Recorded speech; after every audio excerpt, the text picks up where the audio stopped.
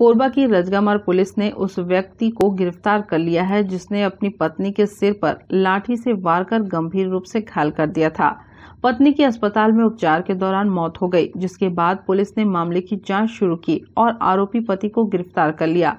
Rajgamar police की कैद में मौजूद ये वही व्यक्ति है, जिसने अपनी पत्नी के सिर पर जानलेवा वार कर दिया था। गंभीर चोट आने के कारण महिला की जिला अस्पताल में उपचार के दौरान मौत हो गई। पुलिस को गुमराह करने के लिए आरोपी ने पत्नी के छत से गिरकर घायल होने की बात कही थी।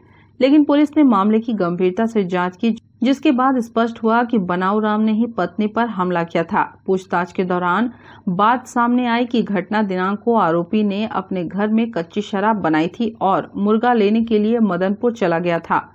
वापस आने पर उसने पाया कि पत्नी शांतिबाई ने वह शराब अपने मायके वालों को पिला दी थी। इसी बात से नाराज़ होकर उसके द्वारा घटना को अंजाम दिया गया था। पुलिस ने आरोपी को गिरफ़्तार कर कोर्ट में पेश करने के बाद उसे जेल दाखिल कर दिया है।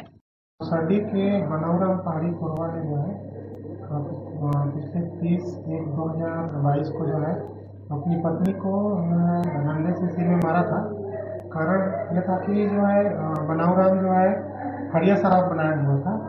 और उसके उसको पीने के लिए मुर्गा लेने के लिए आया था चखना बनाने के लिए दूसरे गाँव गया था। तो मुर्गा लेके वापस आया तो देखा कि हरिया शराब घर में नहीं है। तो अपनी पत्नी पूछा तो कहाँ की है? तो बोली कि अपने मायके वाले को दे दूँगा करके बस इसी बात से जो है, अपनी पत्नी को डंडे से में मारा था। और मारने के बाद जो है, इसको हॉस्पिटल ले गया था। तो वहाँ पर जाकर जो है उसने बताया कि जो है, छत पे गिर गई है। और सिर में चोट लगा है करके तो बारीकी से जाँच की तो पता चला कि वो जो है डंडे से सिर में मारा है जिससे उसकी मृत्यु हुई है। तो इसमें जो है आरोपी को गिरफ़्तार कर निर्माण कर गया। मीडिया फोर्स सपोर्ट के लिए रामकुमार यादव की रिपोर्ट।